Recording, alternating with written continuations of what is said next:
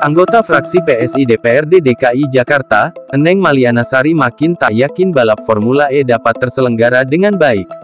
Hal ini buntut dari mundurnya Direktur Keuangan PT Jakarta Propertindo, Jakpro, Yuliantina Wangsawiguna di tengah memanasnya persoalan dana pembangunan trek Formula E. Politikus PSI ini mendesak Gubernur DKI Jakarta Anies Baswedan untuk mengevaluasi kembali terkait penyelenggaraan Formula E. Ia mengatakan Formula E ini memerlukan persiapan yang matang dan itu bukan sekadar isapan jempol belaka. Pasalnya, selama ini Eneng terus mendengar menyoal persiapan Formula E, namun jajaran direksinya justru mundur. Sebagai contoh, Eneng menyebutkan soal sponsor. Biaya pembangunan trek yang tak lagi didanai dari APBD membuat kehadiran sponsor menjadi faktor yang sangat penting. Sayangnya, Eneng justru mendapatkan kabar belum masuknya sponsor dan membuat Jakpro menalangi pembiayaan pembuatan trek.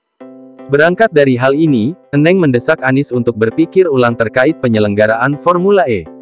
Sebagai informasi, Yuliantina Wangsawiguna tak lagi menjabat sebagai Direktur Keuangan PT Jakarta Propertindo, Jakpro, sejak pertengahan Januari tahun 2022 lalu.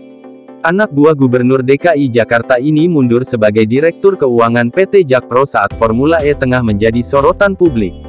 Melalui rilis resminya, PT Jakpro mengungkap alasan pengunduran diri Yuliantina Wangsawiguna yakni karena sakit dan tengah menjalani perawatan. Adapun jabatan Direktur Keuangan PT Jakpro saat ini diisi oleh Leonardo Swasono Miharjo, yang akrab dipanggil Sony.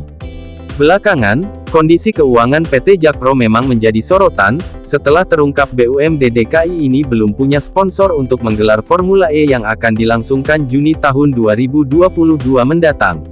Alhasil, Jakpro pun harus menggelontorkan dana perusahaan hingga 70 miliar rupiah untuk menalangi pembuatan trek Formula E di kawasan Ancol, Jakarta Pusat.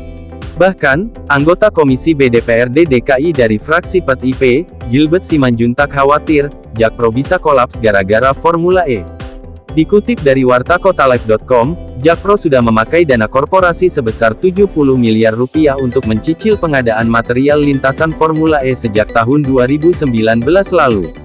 Bahkan, Jakpro berencana kembali menggunakan dana korporasi sebesar 50 miliar rupiah karena uang sponsor belum masuk. Padahal, mereka harus menyiapkan sirkuit untuk turnamen Formula E akan digelar sekitar 130 hari lagi.